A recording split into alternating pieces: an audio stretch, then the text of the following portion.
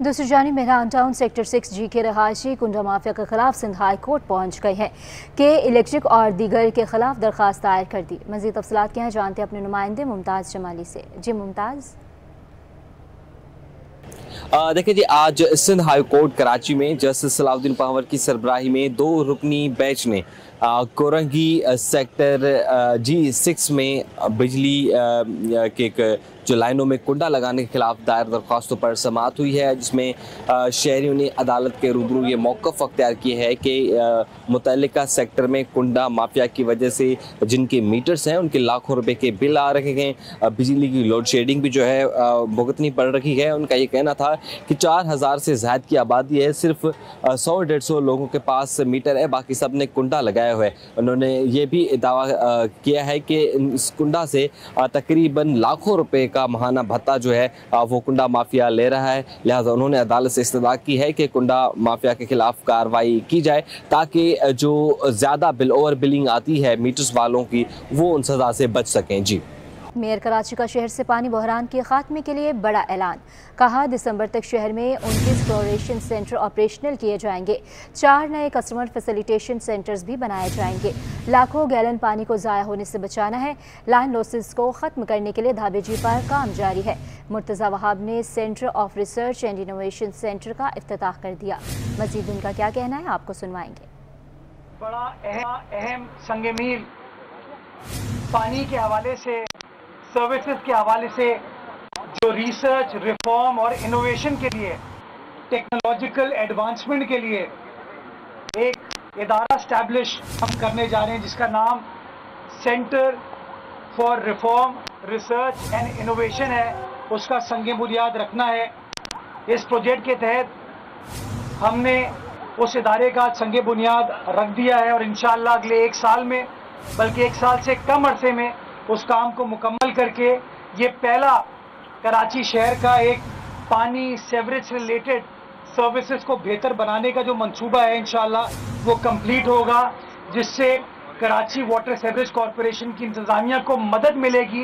इस मंसूबे के तहत कराची भर में उनतीस क्लोरिनेशन सेंटर्स हैं, जिनके ऊपर हम काम स्टार्ट कर चुके हैं और इनशाला इनशाला इकतीस दिसंबर 2024 तक वो जो उनतीस क्लोरिनेशन सेंटर्स हैं, उनको मुकम्मल करके मशीनरी उसकी हमने इंपोर्ट कर ली है ऑर्डर्स प्लेस कर दिए हैं। मशीनरी आने का सिलसिला स्टार्ट हो चुका है। मुझे कभी उम्मीद है, जो काम मैं देख रहा हूँ, कि दिसंबर तक इस काम को मुकम्मल कर लिया जाएगा और ये उनतीस क्लोरिनेशन सेंटर्स कराची भर के अंदर ऑपरेशनल हो जाएँगे, जिससे कराची वालों को बेहतर और मयारी पानी मिलने का सिलसिला स्टार्ट हो जाए। सिंध के इस्लामी बल्दियाती काम करने वाले मुलाजमीन का कराची प्रेस क्लब पर धरना। मुजाहरीन ने तनख्वाहों में कटौती के खिलाफ एहतजाज किया। मुलाजमीन का कहना था कि कराची के तर्ज पर माहाना तनख्वाह ऑनलाइन की जाए। इस वक्त नुमाइंदा खुर्शीद रहमानी एहतजाज मुजाहरीन के साथ मौजूद हैं। इनसे जानते हैं तफसलत बताइएगा हमें खुर्शीद। जी हम इस वक्त मौजूद हैं कराची प्रेस क्लब के बाहर जहाँ पर बल्दियाती मुलाजमीन अपने हक के मुतालबात के लिए एहतजाजी धरना दिए हुए हैं। गुजशत रोज से ये धरना जारी है।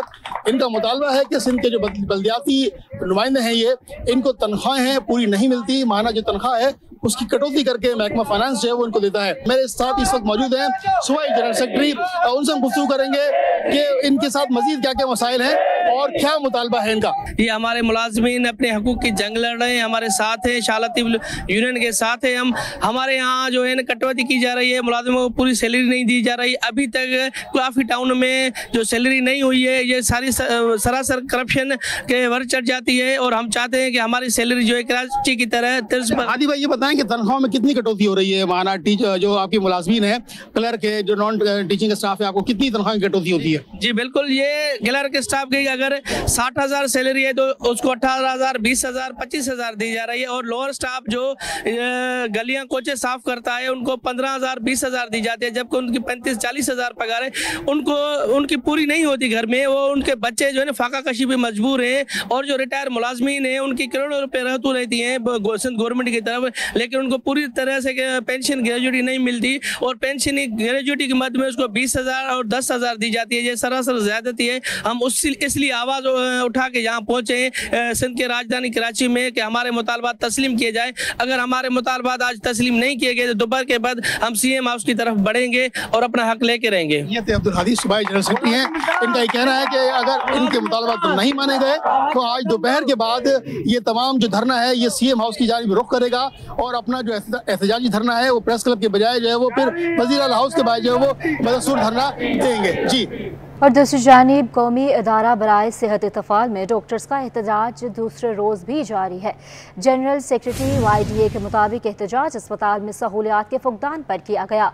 तबी अमले पर भी तशद को रोकना होगा। मज़ीद जानते हैं नुमाइंदा फ़ारान खान से। फ़ारान बताइएगा हमें।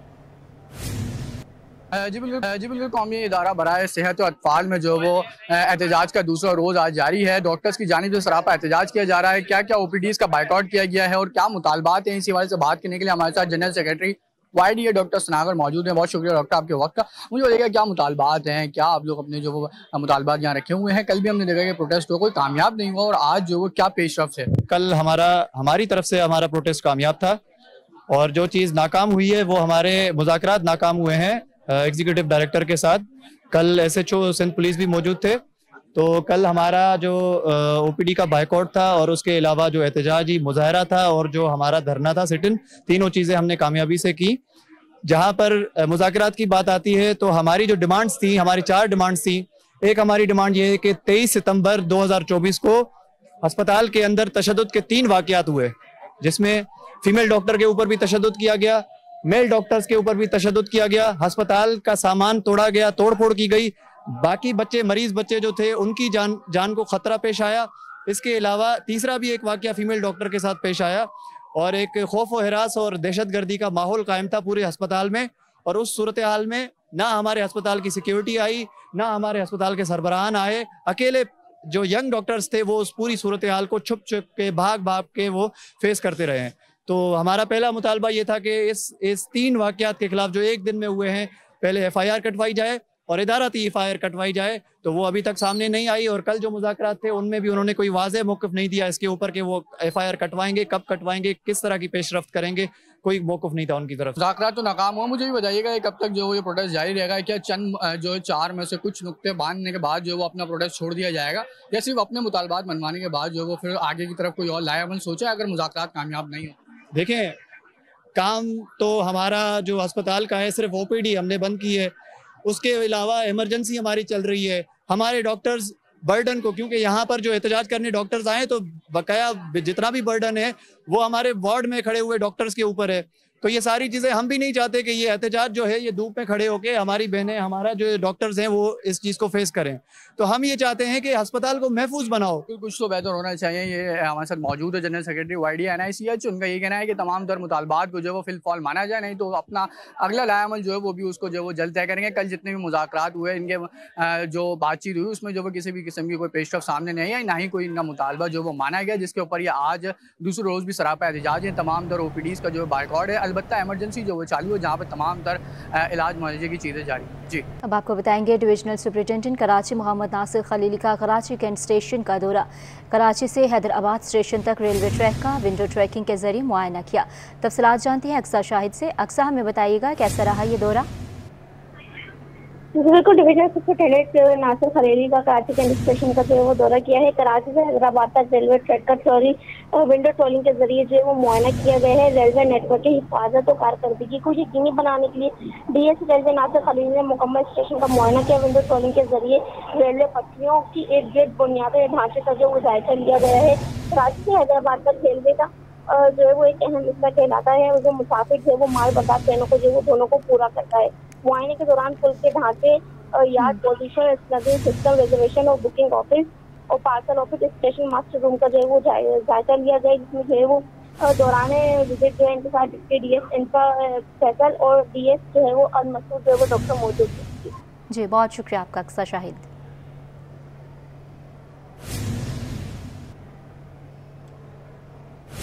कारोबारी दुनिया में सबसे पहले बात करेंगे, करोड़ों रुपए की टैक्स और ड्यूटी चोरी पकड़ी गई है। चौंसठ करोड़ रुपए से ज़्यादा की ड्यूटी और टैक्सों की चोरी बेनकाब। Collectorate of custom export Karachi की बड़ी कार्रवाई। हुकाम के मुताबिक एक्सपोर्ट फैसिलिटी स्कीम के नाम पर इनपुट पर सामान की बरामद में फ्रॉड किया गया। ए के बरदार कंपनी ने टेक्सटाइल, कॉटन फैब्रिक पोलिस्टर की दरामद पर फ़ायदा उठाया। एस आर ओ के खिलाफ वर्जी करते हुए फैक्ट्री से सामान को गैर कानूनी तौर पर गायब किया गया। टैक्स और ड्यूटी की मद में चौंसठ करोड़ चौबीस लाख रुपए की चोरी की गई। कंपनी मालिक आसिफ इनाम गिरफ़्तार। मुकदमा दर्ज तफ्तीश जारी। तफसलात के लिए बात करेंगे अशरफ खान से। अशरफ, अपडेट कीजिएगा इस पर हमें। यहाँ देखा जाए collectorate of custom export Karachi की बड़ी कार्रवाई है। करोड़ों रुपए के टैक्स और ड्यूटी चोरी पकड़ ली है और ये बताया गया एक्सपोर्ट फैसिलिटी स्कीम के नाम पर इनपुट पर सामान की बरामद में फ्रॉड पकड़ा गया है। ए के ब्रादर कंपनी ने टेक्सटाइल कॉटन फैब्रिक पॉलिस्टर और दीगर जो वेलवेट के इम्पोर्टेड जो माल था, उसके ऊपर जो है गलत डाटा दिखाया गया, जिसमें कंपनी ने एक अरब इकतालीस करोड़ इकसठ लाख रुपए का इनपुट लेकर एक्सपोर्ट नहीं किया है, और सिफर एक्सपोर्ट दिखाई, और ई एफ़ एस के नाम पर जो है टैक्स और ड्यूटी की मद में चौसठ करोड़ चौबीस लाख अट्ठासी हज़ार रुपए की चोरी की है। कलेक्टर एक्सपोर्ट ने जो है एफ़ आई आर दर्ज करके कस्टम की खुशी अदालत में पेश किया है, और मालिक जो है उसका आसिम इनाम को कराची एयरपोर्ट आमद पर गिरफ़्तार करके मजीद तफ्तीश जारी है और एक ब्रादर ने ड्यूटी और टैक्सेस फ्री इनपुट के सामान को गैर कानूनी तौर पर नॉर्थ कराची इंडस्ट्रियल एरिया की फैक्ट्री से गायब कर दिया था। जी। जी, ठीक है, अशरफ, आप हमारे साथ ही रहिएगा।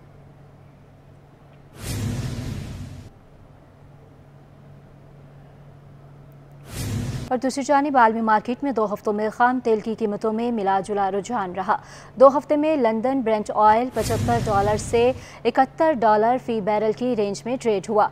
फ़ी लीटर पेट्रोल की कीमत में ग्यारह पैसे इजाफे की तजवीज़ की गई है। तफसील के लिए बात करेंगे अशरफ खान से। अशरफ, आगाह कीजिएगा। भी यहाँ पे देखा जाए, रिफाइनरी जरा का कहना है कि पेट्रोल मसालों की कीमतों में तजवीज़ भेजी गई, उसके रद्द बदल के लिए आज मार्केट में दो हफ़्ते में देखा गया कि काम तेल की कीमतें मिला जुला रुझान रहा है। दो हफ़्ते में लंदन ब्रांड ऑयल की बुलंद सतह पचहत्तर डॉलर, कम सतह इकहत्तर डॉलर फ़ी बैरल के रेंज में ट्रेड हुआ है, जिसके बाद दो हफ़्ते पहले जो रेट था, उसी इकहत्तर डॉलर बीस सेंट पे अभी ट्रेड हो रहा है। तो कोई तब्दीली नहीं है, जिसके ऊपर एक लीटर पेट्रोल की कीमत में ग्यारह पैसे इजाफे की तजवीज़ भेजी गई है। इंडस्ट्री जराये का कहना है कि मंजूरी के बाद एक लीटर पेट्रोल दो सौ उनचास रुपए, दस पैसे से कम होकर दो सौ उनतालीस रुपए। इक्कीस पैसे का हो जाएगा। यानी कि अगर देखा जाए कि ग्यारह पैसे का इजाफा देखा जा रहा है, एक लीटर डीजल की कीमत दो रुपए ग्यारह पैसे सस्ता करने की तजवीज दी है। अगर मंजूरी होती है तो एक लीटर हाई स्पीड डीजल दो सौ उनचास रुपए उनसठ पैसे से कम होगा, दो सौ सैंतालीस रुपए अट्ठावन पैसे का हो जाएगा, और एक लीटर मिट्टी का तेल तीन रुपए तेईस पैसे सस्ता करने की तजवीज दी है। और जो कि ज़रात में इस्तेमाल होता है, एक लीटर हाई स्पीड जो लाइट स्पीड डीजल है उनासी पैसे कमी करने की तजवीज़ दी है। और ये भी कहा है कि हुकूमत की जाने से पेट्रोल मसीमात की रद्द बदल की मंजूरी के बाद इतलाक यकम अक्टूबर से होगा। जी, ठीक है, अशरफ, आप हमारे साथ रहिएगा। बात करेंगे सदर काटी जौहर अली कंधारी का कहना है कि आईएमएफ से सबसे बड़ा सात अरब डॉलर्स का कर्जा लेने जा रहे हैं। अब सरमाकारों का अतमाद बहाल होगा। आईएमएफ के कर्ज की मंजूरी के बाद अब दीगर डोनर एजेंसी से भी फंड्स मिलेंगे। मजीद तफसलत क्या है, अशरफ खान बताएँगे। देखा जाए, मुल्क की माशी सूरत हाल की बेहतरी के लिए आई एम एफ़ का जो है कर्ज की मंजूरी मिल गई अब देखना ये आगे चल कर मीशत की क्या सूरत हाल की जानते हैं। कोरंगी एसोसिएशन और ट्रेड इंडस्ट्री के सदर जौहर अली कंदारी में ऐसा मौजूद हैं। क्या देख रहे हैं? आई एम एफ़ का कर्ज तो मिल गया, लेकिन कर्ज बढ़ने भी जा रहे हैं।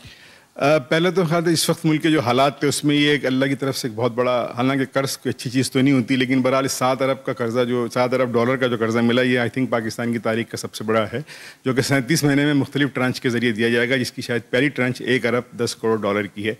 बहुत बड़ा रेस्क्यू मिलेगा हमारी इकॉनमी को, क्योंकि बहुत बुरे हालात थे, बहुत पूरी इकॉनमी हमारी वेट एंड सी पे चले गई थी, कोई एक्टिविटीज़ यहाँ पे नहीं हो रही थी, कोई इंडस्ट्रियलाइजेशन नहीं हो रही थी।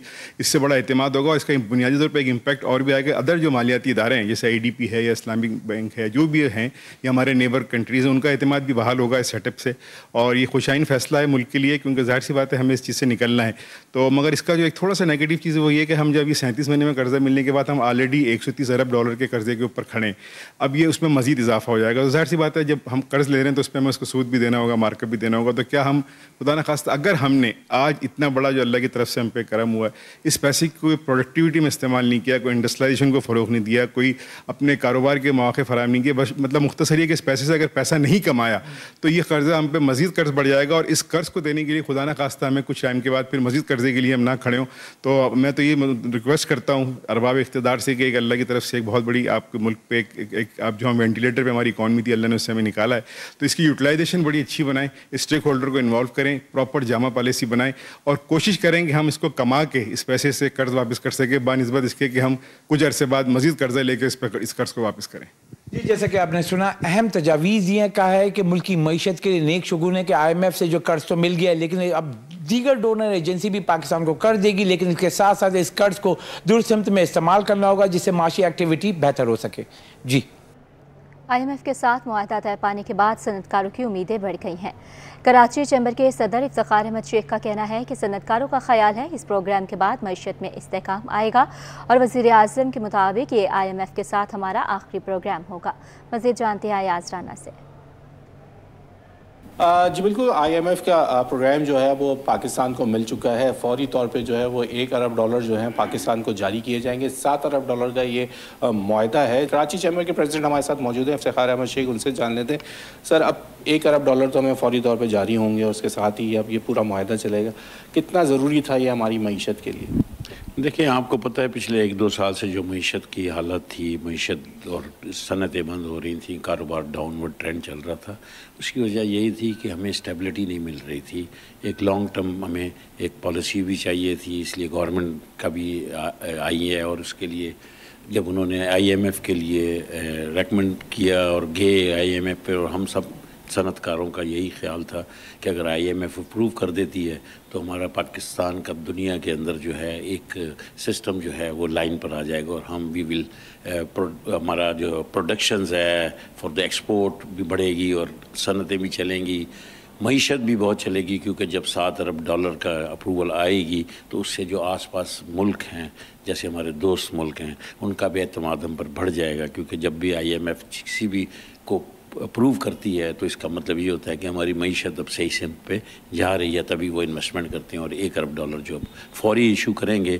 तो मैं ये समझता हूँ कि सनतों के लिए बहुत अच्छा है एक्सपोर्ट के लिए बहुत अच्छा है, पाकिस्तान की मीशत के लिए बहुत अच्छा है और इन ताला इन ताला जिस तरह हमारे प्राइम मिनिस्टर साहब ने कहा है कि ये आखिरी इन ताला आई एम एफ़ का प्रोग्राम होगा, वो ऐसी असलाहत कर रहे हैं और ऐसा प्रोग्राम लेके आ रहे हैं, इसकी यूटिलाइजेशन इतनी अच्छी तरीके से करने की कोशिश कर रहे हैं ताकि ये आखिरी ही प्रोग्राम हो आई एम एफ़ का, और लोग जो है, एक मीशत जो है, वो सही से रवाना हो जाएगी। तो हम जो सनतें हैं एक्सपोर्ट भी इन ताला we will go for the hundred billions इस तरह अब हुकूमत का फोकस जो है, वो आवाम को रिलीफ और सनतों को रिलीफ देने पे होगा, क्योंकि अब पैसे जो हैं, जहाँ उनके पास आ चुके हैं आईएमएफ का प्रोग्राम भी मिल चुका है। तो ये तमाम चीज़ें हैं जो हुकूमत को अब सहारा देंगी, और आम आदमी और ताजर बरदरी हो या सनतकार हो, उनको रिलीफ मिलना शुरू हो जाएगा। जी। एनजीओ की स्कूल गोद लेने के बाद हुकूमत ने अपने टीचर्स हटा लिए। चश्मा गोश में कायम गारमेंट बॉयज़ प्राइमरी स्कूल में बच्चे ज़्यादा होने से इस की तादाद कम पड़ने लगी है। इस के मुताबिक स्कूल में 300 बच्चे जेर तालीम हैं। 300 बच्चों के लिए इस वक्त स्कूल में सिर्फ़ पाँच इस मौजूद हैं। इस हवाले से मजीद जानते हैं आयमा खान से। जी आयमा, आगाह कीजिएगा। जी, बिल्कुल, देखिए, इस वक्त मैं मौजूद हूँ इब्राहिम हैदी चश्मा गोट के एक सरकारी स्कूल में, गवर्नमेंट बॉयज़ प्राइमरी स्कूल है।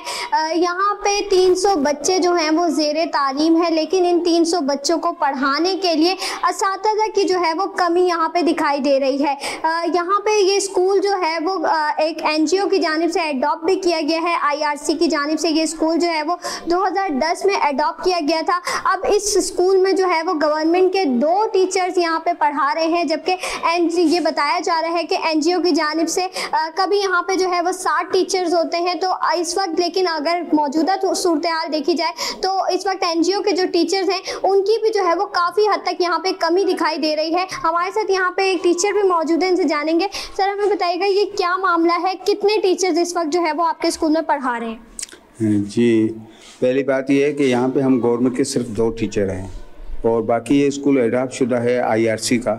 तो यहाँ आईआरसी के इस वक्त तीन टीचर हैं और कभी साथ भी होया करते थे, लेकिन टीचरों की जो है बहुत शार्टेज होती है। वक्ता वक्ता उनकी इशू होते हैं। कभी सैलरी उनको लेट मिलती है, कभी छः छः महीने उनकी सैलरी नहीं मिलती।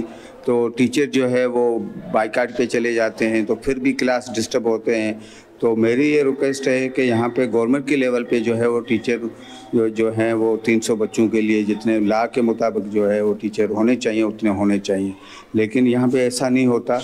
अभी भी हमने रिक्वेस्ट की एसएमसी को, इलाके वालों को, उन्होंने तीन जो है वो अपनी बच्चियाँ जो है वो घर से भेजी हैं, जो बच्चों को यहाँ पे वॉल्टियर जो है वो पढ़ा रही हैं। लेकिन तीन सिर्फ़ इस वक्त आईआरसी के टीचर हैं, दो हम गवर्नमेंट के टीचर हैं। टोटल पाँच टीचर हैं और हमारे पास सात सेक्शन हैं, तीन सौ बच्चों के लिए।